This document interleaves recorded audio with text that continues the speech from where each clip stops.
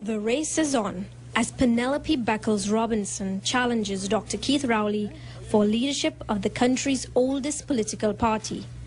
But a possible threat to a fair election has already surfaced, and one which Ms. Robinson has brought to the attention of the party's council on two occasions.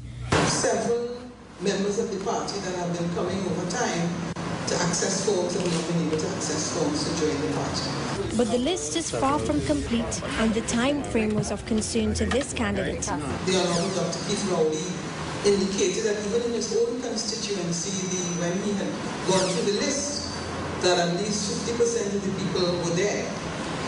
Um, and it means that the process of having the list rectified, having regard to the deadline for the for the um, the first list and then the final list, and then the date of elections mean the timelines are very, very tight. When we checked the PNM's head office, an attendant told us there were no forms and we should check back later. Ms. Beckles Robinson intends to do things a little differently once elected into office. Her intention is to change the way the party is viewed and make it more inclusive and more representative of Trinidad and Tobago.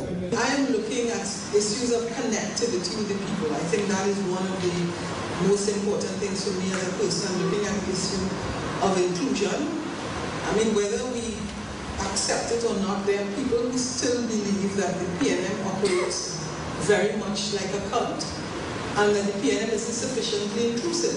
Nomination day is on March 14th and the election is carded for May 18th.